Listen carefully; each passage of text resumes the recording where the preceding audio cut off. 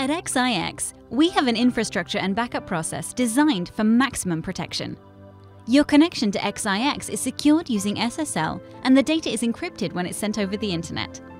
Users are spread over multiple web servers, so if a server was to fail, you can still keep working. We like to do things in threes.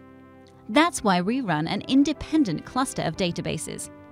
In fact, at any one time, we maintain three live copies of your data in separate database servers.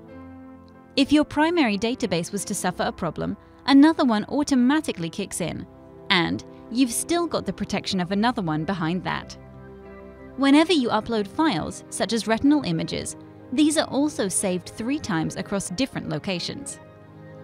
At times, software systems have to process lots of data, making them slow, that could be generating letters or sending a batch of emails. For this, we use a dedicated process layer. This is a group of ring-fenced machines churning through the hard work, keeping the main application working as fast as possible. When we need to, we can add more machines.